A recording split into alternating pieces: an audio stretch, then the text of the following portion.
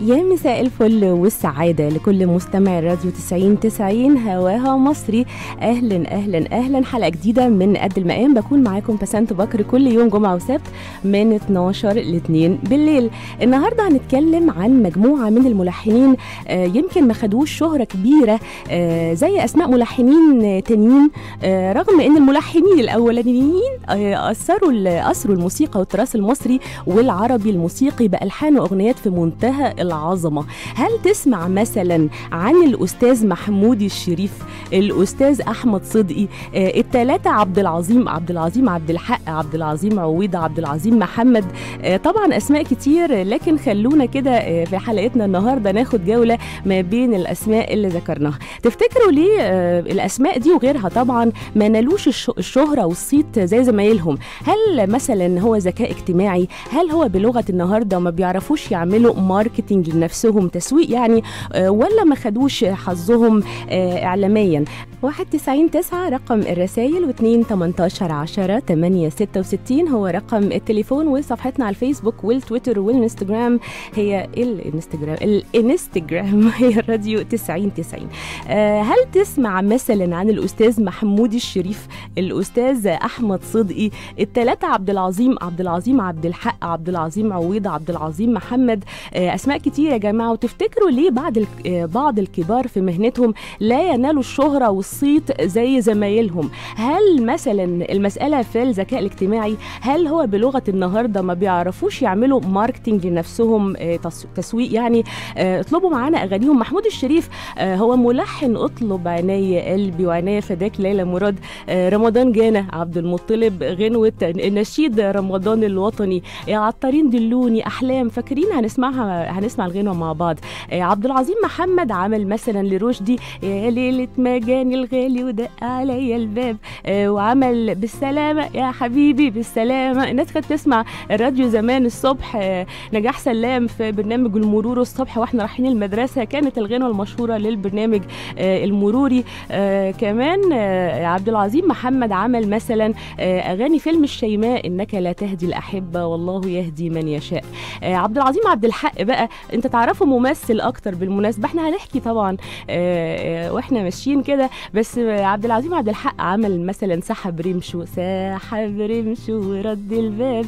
آه، محمد انديل عمل الشغل كتير جدا. لكن خلونا كده عشان ما نتكلمش كتير نروح أو نركز مثلا مع الأستاذ محمود الشريف ملحن قدير جدا اثره الحركة الموسيقية في مصر في منتصف القرن العشرين وتأثر جدا بسيد درويش وهو بلدياته من اسكندرية ومن أشهر الحانه نشيد الله أكبر آه، اللي كان موجود أو يغنى في حرب السويس 56 ويعد كمان يا جماعة من أقوى الاناشيد آه، الوطنية. وزي ما قلت كمان من ألحانه أو أشهر ألحانه آه، رمضان جانس وقد المقام وميعادنا الأسبوعي كل جمعة وسبت من 12 ل 2 بالليل عشان محدش ينسى ها؟ من الأسبوع للأسبوع الاقيكوا بقى نمتوا آه، نسيتوا أنا بقول لكم أهو النهارده بنتكلم عن بعض الأسماء آه، من الملحنين المنسيين رغم إنهم كبار قوي قوي قوي قوي أنتوا شايفين عمالين نسمع تحف فنية.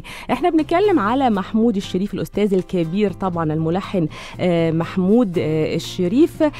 وزي ما قلت لكم في اللينك اللي فات اسكندراني مواليد سبتمبر آه، 1912 وحب المزيكا جدا آه، من طفولته وكان متأثر جدا بسيد درويش. آه، وبعدين آه، قرر إن هو ينزل القاهرة زي طبعا سكندريين فنانين كتير نزلوا القاهرة.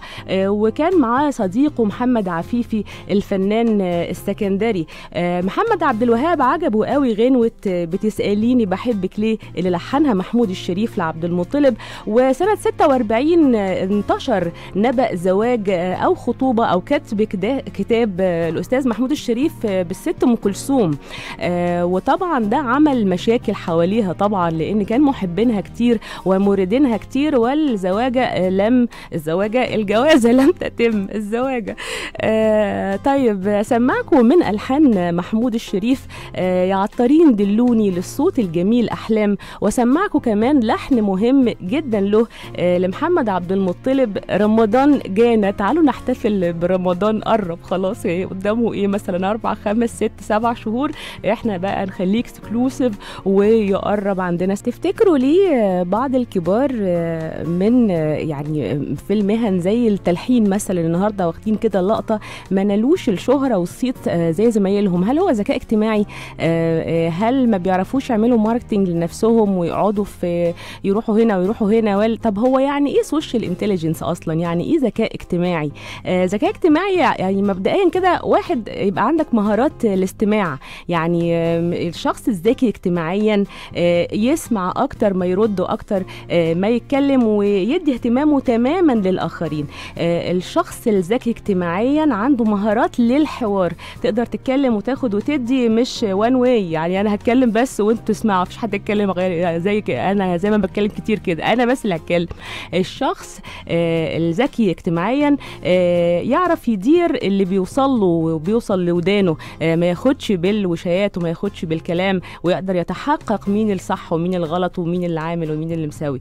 الشخص الذكي اجتماعيا لا يجادل يعني اللي هو لو شفت شخص يقاطع ويخالف ويعارض الآخرين في كل قعدة ويعني ده يفتقر تماما للذكاء الاجتماعي. لما قريت عن الأستاذ محمود الشريف يا جماعة عرفت إن هو كان عصبي جدا وكل حاجة يتخانق وكل حاجة يجادل وكل يعني رغم الموهبة الكبيرة شفتوا ألحانه عاملة إزاي لكن كان صعب جدا إن أنت تتعامل معاه الذكاء الاجتماعي إزاي تكون سهل مع الناس وإزاي تبقى يعني تمنطق الأشياء.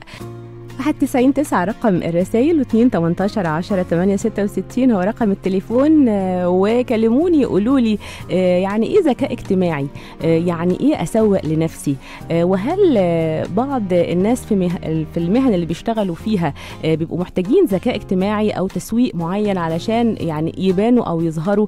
يعني لما تيجي النهارده تعمل حلقة عن نعمل حلقة النهارده عن ملحنين منسيين وتشوف إن دي شغلهم ودي أغانيهم محمود الشريف دلوقتي أحمد صدقي نتكلم عنه. أحمد صدقي اتخرج من الفنون التطبيقية في أوائل الثلاثينيات واشتغل اتعين على طول رسام في دار الآثار المصرية لكن هو منجذب جدا من وهو صغير وهو طفل للموسيقى والسيد درويش واتصل بالشيخ درويش الحريري وتعلم على أيديه المقامات الموسيقية وأداء الأدوار والموشحات ف وبدأ حياته يا جماعة كورس في عدة فرق. طبعا عمل أغاني كتيرة جدا لكن هو كمان يعني اهتم جدا بالتراث الشعبي وأسس ما يسمى يا جماعة بركن الريف في الإذاعة المصرية وتخصص في تقديم الأغنيات والبرامج الغنائية الدرامية عن حياة الفلاحين في القرى المصرية. بصي الجمال بصي الجمال. طبعا هو ملحن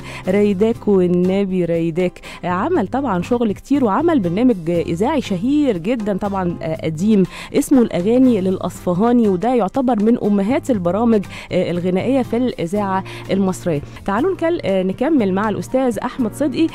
بدايته في الإذاعة يعني ومن حبه في الإذاعة عمل غنوة سنة 52 اسمها عالدوار لمحمد أنديل فاكرينها؟ عالدوار عالدوار راديو بلدنا في أخبار. عالدوار عالدوار من أجمل الأغاني. بس هغني لكم هسمعكم النهارده. آه سماح آه يهلي السماح لمحمد أنديل من ألحان آه أحمد صدقي. كمان أستاذ أحمد صدقي يعني كانت بدايته الفنية قوية جدا لأنه لحن للفنانة ليلى مراد أشهر أغانيها في أفلام شاطئ الغرام زي مسافر وناسي هواك ريداك والنبي ريداك. وعمل لها كمان بحب اتنين سوا الميه والهوا وفي فيلم حبيب الروح عمل لها كلمني يا قمر وعمل لها طب فاكرين غنوة الاستعراضية الشهيرة؟ شفت؟ منام واحترت أنا فيه دلوقتي أحكي لكم عليه آه كمان عمل في الأربعينيات غنوة حلوة قوي المطربة اسمها نجاة علي. آه وعلى فكرة نجاة الصغيرة سموها الصغيرة علشان ما, ما يختلفوش يبقى اتنين نجاة. فنجاة علي آه فقالوا طب لو قلنا نجاة بس كده للصغيرة يعني آه آه هيفتكروها نجاة علي لأنها يعني غنت قبلها. فقال قالوا نسميها نجاة الصغيرة آه كناية طبعا إنها غنت وهي صغيرة. الأستاذ أحمد صدقي عمل طبعا ألحان كتيرة جدا وبال... وبالمناسبة هو عمل أول لحن لشاديه مش منير مراد عمل لها غنوة اسمها سحر عينيكي العسلية والسمار والخفية. حلفولي إنك مصرية مش مشهورة قوي كانت في أوائل الخمسينات قبل ما آه منير مراد يلحن لها. مقامه عالي والله. يا عبد العظيم محمد الملحن اللي هنتكلم عليه دلوقتي سريعا لأن الوقت يداهمنا التحق بالمعهد العالي للموسيقى وكان دفعة عبد الحليم متخرج سنة 50 وعنده مجموعة كبيرة جدا من الأغاني. محمد أنديل مثلا آه، 100 لحن ماشي كلامك ومداح وهات يا تاريخ. فايدة كامل اشتغل معاها يمكن 80 غنوة. محمد رشدي آه، 40 غنوة منها. يا ليلة مجانا الغالي وسلاسل فضة والصابرين بخير وأفراح. آه، المطربة كمان شهرزاد يمكن آه، يعني آه، هي قديمة شوية ويمكن كتير ما يعرفوهاش لكن عمل لها 40 غنوة سعاد محمد عمل لها طلع البدر علينا وإنك لا تهدي الأحبة من أغاني فيلم الشيماء. وكان يزعل جدا لما الناس ما تعرفش شغله. إيمان بنته في الحو... في أحد الحوارات قالت هو ما كانش لا يروح ولا يجي كان يشتغل. يعني ما عندوش علاقات يعني ما يعني هو يشتغل بس آه، رغم كل هذا الإنتاج ف آه، ما بقول لكم فك- فكرة التسويق لنفسك إن أنت يبقى عندك علاقات اجتماعية وتروح وتيجي و و و يعني لكن طبعا يعني آه، كل شخصية وليها يعني حكايات. ووقتنا بيجري جدا ولسه عايزين نتكلم عن الأستاذ عبد العظيم عبد الحق والاستاذ عبد العظيم عويضة وعندنا كمان مكان قد المقام مسرح الطليعة. طب خلوني سريعا آه، الأستاذ عبد العظيم عبد الحق. إحنا نعرفه ممثل موجود على فكرة في بوست آه، الحلقة اللي موجود على الفيسبوك على صفحة الراديو 90 90 بدأت علاقته بالفن من خلال المزيكا آه، عبد العظيم عبد الحق ودرس المزيكا ودرس مسرح وعمل آه، أغاني عظيمة جدا زي مثلا تحت الشجر يا وهيبة وعمل سحب رمشو لمحمد أنديل. الأستاذ عبد العظيم عويضة اهتم أكتر بالموسيقى المسرحية فأسس آه، كورال مسرح الطليعة. ومسرح الطليعة يا جماعة تاريخه كبير جدا وهو إحدى مسارح الدولة. آه، والحقيقة بيعود تاريخ مسرح الطليعة للفنانين الكبي... آه، الفنانين الكبار محمود السب... السباع ومحمد توفيق. وبعد كده الأستاذ سعد أردش وت... وتعامل عليه مجموعة كبيرة من المسرحيات وشارك فيها الموسيقار الكبير عبد العظيم عبد العظيم عويضة آه، بمزيكته من خلال عرض المسرحيات. آه، طبعا أصدقائنا كتير طلبوا آه، عبد الحليم حافظ وكان نفسي أسمعكم مثلا سحب ريمشو لعبد العظيم عبد الحق أو تحت الشجر يا وهيبة أو بعض موسيقات الأستاذ عبد العظيم عويضة لكن